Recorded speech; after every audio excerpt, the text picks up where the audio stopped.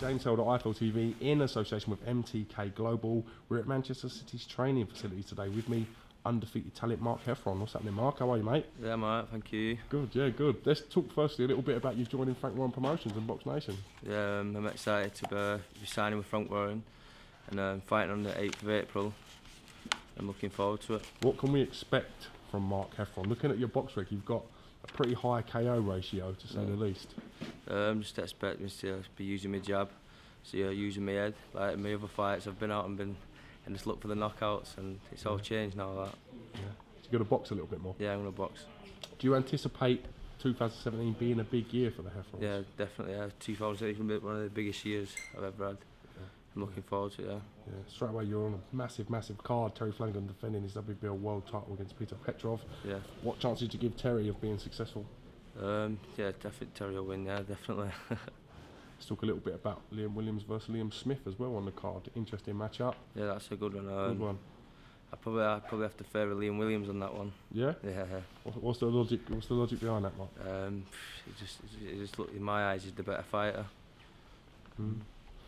Quite interesting that spoke about them two potentially getting it on for ages. So Yeah. when when Liam had the British title, so it's great to see these fights materialising. Yeah, it's good. uh, It's good to see um, 50-50 fights like that. Mhm. So good, yeah. Tell us a little bit about Mark Heffron. Tell us something that we may not know. Talk to us a little bit about yourself. Um, yeah, I've had I've had 13 fights. Um, uh, I've had 11, 11 KOs, and I'm a got- bit nervous. ah, no, you're fine. Chill out. Yeah. You've got the second highest KO ratio behind Joshua as well. Yeah. Interesting enough. One of your team gave me that fact, so I hope that fact is correct. But it must be nice to have that Yeah, included on your resume. yeah, it's good. Yeah, What's going on with Ronnie Heffron then? Is he? Are we going Um, to see him back in the ring? you're just getting back in training now. Yeah, Yeah. mm, hopefully he'll be back in sometime this year. Obviously, Ronnie Heffron fought Liam Williams as well, Yeah. which is quite an interesting matchup. Yeah. It was a good fight, but um, we got stopped in a cut. Is that why you sort of rate Williams? The fact that you saw, saw him No, against no. Ronnie up close. No, I just um, I rate him anyway as a fighter. He's, he's good. He's a good fighter.